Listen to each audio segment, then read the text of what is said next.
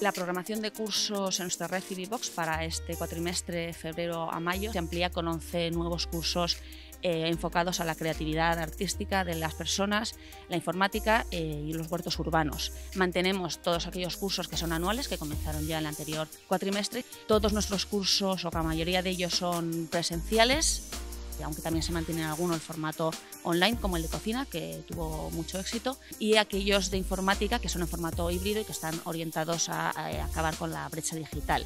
Por otro lado, por fin podemos este cuatrimestre empezar en todos nuestros centros con los cursos deportivos en, en, grupos de cinco personas que se irán ampliando si la normativa sanitaria nos lo permite. Desde aquí animamos a todos los pamploneses a que se apunten a la oferta de cursos de este cuatrimestre.